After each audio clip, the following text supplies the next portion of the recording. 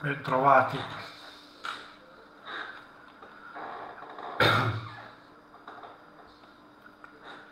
Aspettiamo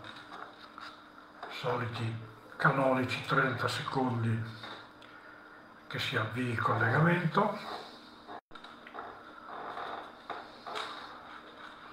Allora, bentrovati, bentornati. La settimana scorsa abbiamo trasmesso in diretta con una trasmissione multipla con diversi protagonisti. Oggi torniamo alla situazione classica e parliamo di alcune cose successe in settimana, ma soprattutto di ciò che succederà la prossima settimana. Stiamo organizzando il Consiglio Nazionale Autoscuole UNASCA, che è un avvenimento molto importante, quindi vorrei parlarvi un po' di questo avvenimento perché ha tutta una serie di temi legati a ciò che stiamo vivendo e a ciò che avverrà prossime, nei prossimi mesi. Intanto un avviso velocissimo. È arrivato da pochi minuti finalmente il file avviso del CED riferito alle patenti errate. Le patenti sono in ristampa, sono state ristampate, stanno effettuando la ristampa massiva e verranno inviate agli uffici provinciali e c'è un calendario sulla base degli uffici provinciali per i quali le autoscuole potranno rivolgersi. Si parte da Agrigento il 31 di maggio fino agli ultimi uffici 4 giugno, date disponibili per il ritiro. Stiamo diffondendo questo file avvisi così ciascuno saprà quando potrà rivolgersi all'ufficio provinciale. Naturalmente queste sono le date da cui le patenti saranno disponibili, poi ciascun ufficio è aperto alcuni giorni, altri giorni, quindi lì bisognerà prendere accordi con i singoli uffici, però per esempio Agrigento, Alessandria, Ancona, eh, Ascoli Piceno, Arezzo, Asti, eccetera, Avellino consegneranno a partire dal 31 di maggio, poi via via tutti gli altri uffici con per esempio Milano il 3 di giugno, Napoli il 4 di giugno, Torino il 7 giugno addirittura e così via. Quindi questo è arrivato, fai l'avviso specifica che non bisogna produrre nessuna documentazione particolare, le autoscuole ritirano le patenti, le consegnano ai propri clienti e si impegnano ad avvisare i clienti che le vecchie patenti vanno distrutte come è prassi eh, normale. È anche possibile per le autoscuole di studi di consulenza ritirare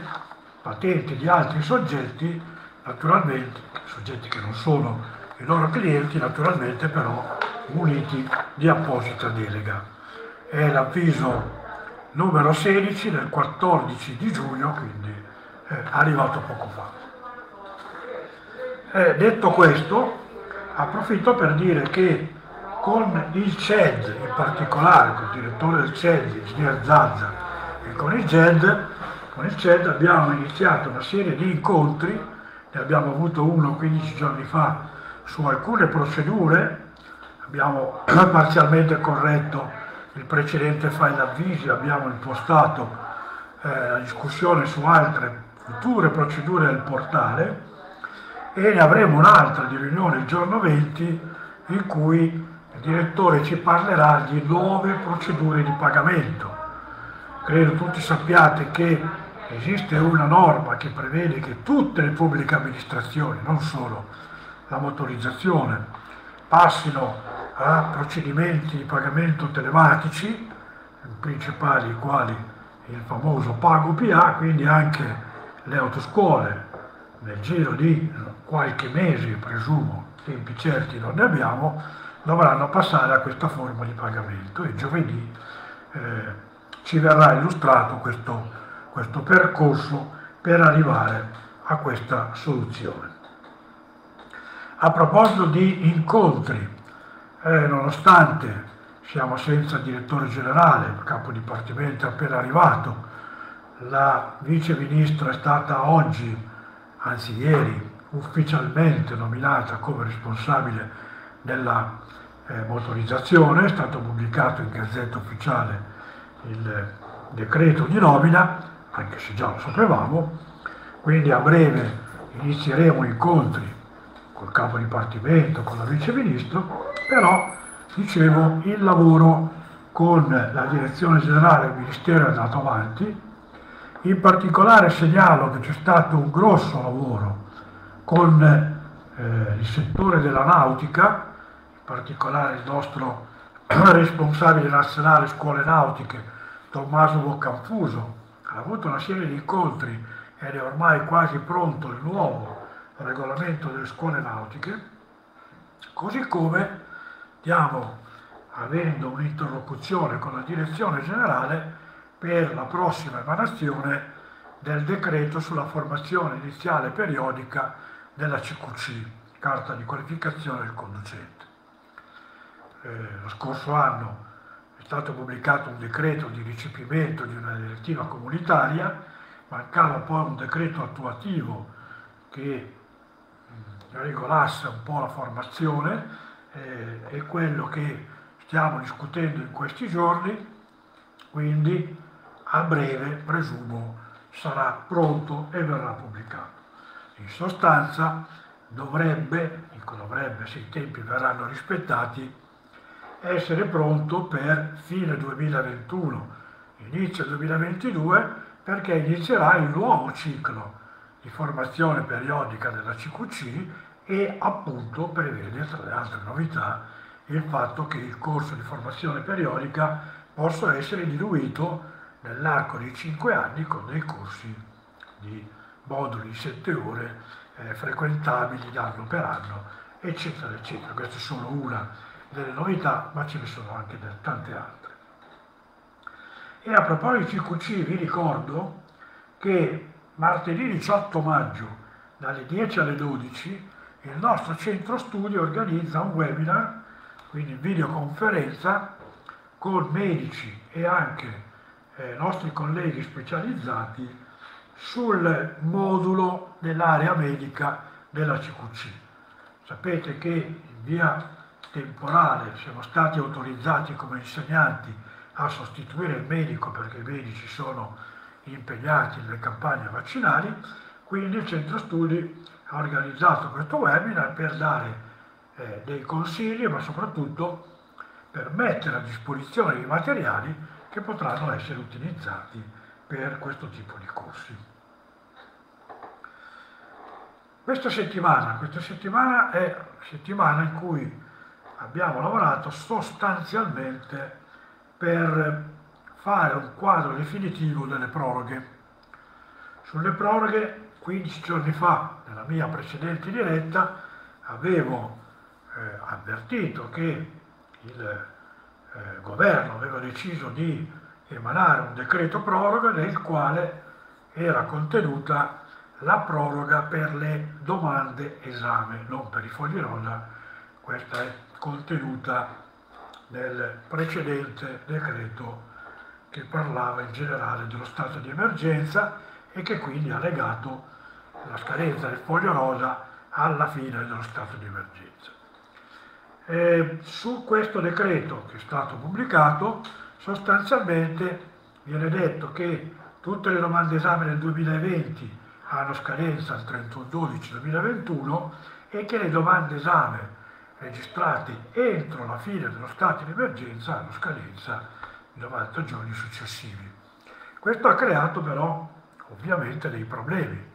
perché abbiamo pratiche quindi che hanno avuto un'estensione, pratiche che invece non ce l'hanno e quindi dobbiamo continuamente eh, fare i giochini per vedere quale candidato va mandato all'esame prima di un altro, non in base alla preparazione, ma in base alla scadenza della pratica. Allora abbiamo cercato per l'ennesima volta di intervenire su questo aspetto, anche se vi dico l'ostacolo principale è il Ministero, perché a quanto pare è il Ministero che continua a legare la scadenza allo stato di emergenza, ma noi ci stiamo provando in fase di conversione di quel decreto che vi dicevo prima, grazie soprattutto all'intervento dell'onorevole Carnevali con cui ho avuto un'interlocuzione giovedì, abbiamo tramite lei presentato un decreto che poi via via abbiamo esteso anche alle altre forze politiche per cercare di far valere questo benedetto concetto che ogni pratica d'esame e ogni foglio rosa deve avere la durata di 12 mesi in maniera che in questo modo tutti hanno la stessa durata ma hanno scadenze diverse in base appunto alla data e non al protrarsi dello stato di emergenza o di altri meccanismi simili che creano solo confusione. Stiamo seguendo i lavori, gli emendamenti sono stati presentati, la prossima settimana andranno in discussione e vedremo un po' che cosa succede. E sempre a proposito della nomina del vice ministro Bellanova che avrà la delega motorizzazione e autotrasporto, mentre il vice ministro Alessandro Morelli avrà la delega al codice della strada, abbiamo ovviamente, l'avevamo già fatto, ma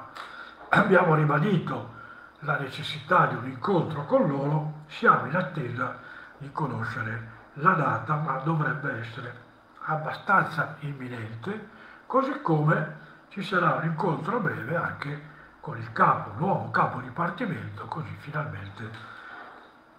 potremo cercare di intervenire su alcuni aspetti pratici. Quali aspetti pratici? Beh, intanto ci sono alcune cose in sospeso è rimasto sospeso la pubblicazione del decreto che autorizza gli esaminatori in pensione ad entrare, a dare una mano, tra virgolette, a espletare esami in attesa di nuove assunzioni. Questa norma era contenuta nel decreto mille proroghe, questa possibilità veniva data fino al 31-12-2021, siamo a maggio, ancora non c'è il decreto, abbiamo forte timore che verranno chiamati poco prima di smettere, perché se devono smettere il 31-12 rimane poco tempo. Quindi è necessario che questo decreto venga emanato quanto prima. Così pure è rimasto in sospeso la questione degli esami da remoto, che riguarda soprattutto gli esami di teoria. Gli esami da remoto, in sostanza, davano la ristrutturazione delle aule esame, configurando che ogni postazione esame avesse le protezioni in plexigas, che l'esaminatore non dovesse essere necessariamente in sala esami e soprattutto l'esaminatore non dovrà eh, più procedere al riconoscimento dell'allievo, quindi risparmiando tempo, ma soprattutto evitando il contatto diretto. Il riconoscimento verrà fatto dalla macchina stessa, dal computer, nel momento in cui il candidato si siederà davanti al computer. Ebbene, questa cosa è stata approvata dal Parlamento già molti mesi fa, c'è già stato uno stanziamento di 7 milioni di euro per realizzare tutto questo, ma ancora non abbiamo visto nulla di questo senso. E allora anche qui bisognerà accelerare e nello stesso tempo bisogna che il Comitato Tecnico Scientifico insieme al Ministero, non insieme a noi, perché questa cosa non riguarda direttamente le autoscuole, riguarda il Ministero, rivaluti il discorso del distanziamento di 4 metri all'interno delle aule di teoria, perché tutti sappiamo che ormai sta diventando un grosso problema quello di riuscire a effettuare un numero congruo di esami di teoria sembrava quasi che eh, fosse impossibile quando lo dicevamo mesi e mesi fa il direttore generale ci diceva ma no, non c'è nessun problema, il problema sono solo le guide, invece ci stiamo rendendo conto tutti in moltissimi uffici che anche le teorie sono un problema. In alcuni uffici lo era già da tanto tempo, in altri sta cominciando ad esserlo ad ora. Quindi questi altri temi verranno affrontati a breve con il capo dipartimento. Ma torniamo all'argomento principale. Abbiamo detto stiamo preparando il Consiglio nazionale autoscuole. Perché insisto così tanto? In fondo che cos'è? Beh, allora il Consiglio nazionale autoscuole è quella riunione che per statuto organizziamo almeno due volte l'anno, normalmente la organizziamo a Roma in presenza, alla quale partecipano di diritto e oserei dire di dovere, perché sono stati eletti e hanno quest'onere, tutti i segretari provinciali, tutti i coordinatori regionali e tutti i consiglieri nazionali che vengono eletti in ciascuna provincia il numero proporzionale al numero degli iscritti di quella provincia. Quindi che cos'è il Consiglio nazionale? È la massima assise democratica dell'associazione, divisa per settore, ce n'è uno per le autoscuole, uno per gli studi di consulenza, e all'interno di questa assise queste persone hanno la delega dei loro iscritti a portare avanti istanze, a discutere i problemi della categoria e a decidere la politica che poi il segretario nazionale e la segreteria dovranno portare avanti. Questo è un concetto su cui più volte sono intervenuto e eh, voglio chiarire molto bene. Il segretario nazionale da solo non decide nulla, non fa nulla e non ha nessun merito. Il segretario nazionale è l'espressione del Consiglio nazionale autoscuola. Viene eletto nel Consiglio nazionale ogni quattro anni, il segretario nazionale si sceglie il proprio vice segretario e la propria segreteria, cioè le persone che lo aiuteranno nel corso del tempo. Personalmente la mia segreteria è sempre stata poi allargata ad altri colleghi a seconda delle competenze di ciascuno. Ad esempio, prima vi citavo il nostro Massimo Boccanfuso, non fa parte della segreteria nazionale, ma di diritto ci partecipa perché ha avuto l'incarico di seguire e sviluppare il settore delle scuole nautiche, per cui di fatto è un membro aggiunto della segreteria nazionale, lo stesso avviene per altre persone. Quindi queste persone, quelle che normalmente sono eh, prese come il vertice della nostra associazione, e in particolare del nostro settore, in verità altro non sono che lo strumento operativo del Consiglio nazionale. Quindi dove decidiamo cosa fare nei prossimi mesi, nei prossimi anni, dentro il Consiglio nazionale autoscuola. Tanto è vero che già negli scorsi consigli nazionali abbiamo preso decisioni importanti, abbiamo votato risoluzioni importanti che poi il sottoscritto e i componenti della segreteria hanno cercato di portare a termine. Quindi il Consiglio nazionale è questo, dallo scorso anno il Consiglio nazionale viene svolto in videoconferenza per i motivi che tutti conosciamo, questo da una parte ha creato il problema di non vedersi in faccia, di non potersi salutare, abbracciare, eh, di non creare intorno all'evento Consiglio nazionale anche un momento di scambio di tante altre idee ed esperienze, però ha dato il grosso vantaggio di aprire la partecipazione a tutti gli associati, è aperto anche quando ci troviamo a Roma, ma è evidente che per un singolo associato che sta da ogni parte d'Italia venire a Roma può essere un problema, mentre partecipare in videoconferenza non è un problema. E quindi lo scorso anno, ricorderete, ricordo in particolare io perché lo abbiamo svolto il primo, il 27 di aprile, che è la data del mio compleanno, avevamo in linea 960-970 colleghi che hanno partecipato al Consiglio nazionale cui avevano partecipato anche il direttore generale Gene Calchetti, alcuni rappresentanti della politica, il vice ministro di allora Giancarlo Cancelleri, eccetera, eccetera. E quei partecipanti hanno anche votato alcune risoluzioni importanti che sono state poi le, le, quelle che noi abbiamo cercato di portare avanti in questo periodo. La stessa cosa faremo il 23 di maggio. Domenica 23 maggio, dalle 10 alle 13 ci riuniremo ancora e, ripeto di nuovo, è aperto a tutti gli associati. È necessaria l'iscrizione,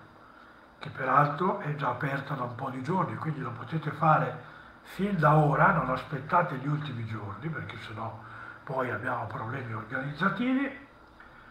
L'unica condizione è essere associati, quindi aver rinnovato la quota associativa e iscriversi per tempo. Di che cosa discuteremo? Beh, è ovvio che ne discuteremo soprattutto con gli associati, però alcune indicazioni le voglio dare perché tutti possano sapere e ci confronteranno poi con quello che decideremo. Allora noi sicuramente, fatte salve le cose che abbiamo già deciso, dobbiamo cominciare a ragionare sul momento che il nostro paese sta affrontando e quindi come le autoscuole si dovranno inserire in questo momento. Allora, tutti sanno che è stato eh, eletto un Presidente del Consiglio che non è un politico ed è stato eletto essenzialmente col compito di stilare un piano per cui presentarsi in Europa, ottenere dei fondi e portare avanti determinate riforme, bene, tra queste che ci riguardano direttamente ne ho segnate alcune. Transizione ecologica, che vuol dire anche nel nostro campo una mobilità diversa. Non a caso, forse l'ho anche già detto, la prima azione che ha fatto il nuovo Ministro dei Trasporti e delle Infrastrutture è cambiare il nome al Ministero. Ministero delle Infrastrutture e delle, plurale, mobilità sostenibili, quindi non una sola, più di una, che però tutte insieme dovranno formare la nuova mobilità del futuro. Ebbene, le autoscuole devono far parte di questo progetto, dovranno insegnare le nuove mobilità sostenibili, che vogliono dire per esempio l'elettrico, l'ibrido, probabilmente altre forme di mobilità, altri tipi di motori, la interconnessione tra le varie mobilità, soprattutto per quando insegniamo e formiamo gli autisti professionali. E allora ecco perché Eurasca, non da adesso, da anni, sta lavorando sulla formazione insegnanti istruttori. I corsi di aggiornamento, non quelli che stiamo facendo adesso, quelli di del biennio precedente li abbiamo impostati sugli ADAS e gli ADAS, guarda caso, sono uno degli elementi che porta a vari gradi di guida autonoma e per ricollegarci alla CQC, nel decreto CQC che sta per essere approntato si modificano anche i programmi di insegnamento e vengono inseriti gli ADAS quindi avevamo visto per tempo, avevamo già lavorato, abbiamo svolto corsi di formazione per oltre mille insegnanti istruttori, abbiamo fatto delle giornate di formazione specifica con Ital Scania, teorico-pratiche proprio sui veicoli industriali e sempre in questo tema, in questi giorni, in questi mesi, gli accordi con Nissa e Stellantis per la formazione e i corsi di aggiornamento insegnanti istruttori che stiamo erogando sul tema dell'elettrico e della nuova mobilità. Quindi cominciare a prepararci per essere pronti. Ma è chiaro che non basta studiare fare i corsi, bisogna che il Ministro, il Governo il Parlamento ci riconoscano come soggetti importanti in questa strada di transizione. Altra parola chiave che mi sono insegnato transizione digitale. Il nostro Paese sta pensando a una grande rivoluzione digitale che cambierà il modo di parlare con la pubblica amministrazione ma anche tra soggetti privati e quindi state sicuri che cambieranno, e ve l'ho accennato poco fa, anche i modi con cui ci dovremo collegare con il portale, con il Ministero dei Trasporti, eccetera, eccetera, le nuove modalità di pagamento, ma non solo. Quindi anche qui dovremo fare un grosso lavoro. E poi l'altra riforma grossa cui si sta parlando è la riforma della pubblica amministrazione e noi lavoriamo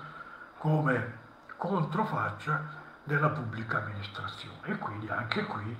già chiesto l'incontro con il ministro Brunetta ma soprattutto anche qui pronti a interloquire perché, perché cambiano le modalità di erogazione del servizio, in parte l'abbiamo già visto durante la pandemia con il lavoro agile eccetera eccetera, ma soprattutto stanno ripartendo concorsi e assunzioni nella pubblica amministrazione e noi dobbiamo alzare la voce perché fino adesso la parola motorizzazione, Ministero dei Trasporti, dentro questi concorsi non c'è, mentre invece dobbiamo, l'abbiamo detto tante volte, ritornare a chiedere che ci sia un numero di esaminatori sufficiente, un numero di esaminatori giovani e un numero di esaminatori formati. Quindi come vedete c'è un campo molto grande su cui lavorare, bisognerà essere presenti, bisognerà insistere, bisognerà fare molte azioni. Devo dire che questa settimana, e concludo, in parte questo lavoro è già iniziato. Eh, sia per il discorso proroghe di cui vi dicevo prima, ma soprattutto per il decreto trasporti Laguna di Venezia di cui abbiamo parlato eh, già 15 giorni fa, noi ci siamo mossi moltissimo, sia come autoscuole che come studi di consulenza. Proroghe del documento unico di circolazione, proroghe nostre, esami in zone russe, queste sono le richieste, visite mediche per le patenti nautiche, queste sono le richieste che noi avevamo avanzato.